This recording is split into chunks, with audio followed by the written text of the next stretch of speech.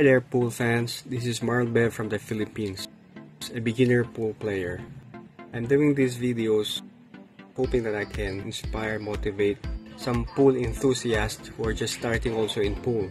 That even if you are in your late 40s or 50s, you can still learn and develop your skill in billiard.